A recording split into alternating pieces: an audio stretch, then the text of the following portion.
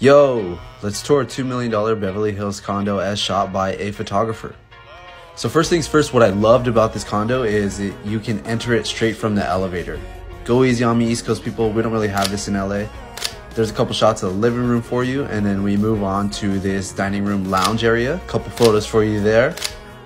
And then next we're gonna move on to the backside of this couch. Not my favorite composition, but the couch was a little high so we made it work. Then down the hallway to the kitchen. We got this little breakfast nook area, if you will. Got a few shots of that, and then one more shot of the kitchen before moving on to the first bedroom bathroom combo. Looking pretty good there. Then this bedroom leads down the hallway to the primary bedroom where we got a couple shots of the master from a few different angles. Then we're gonna zoom past the walk-in closet here into the bathroom. There's me saying what's up and we got a couple last shots here. Make sure you guys follow for more.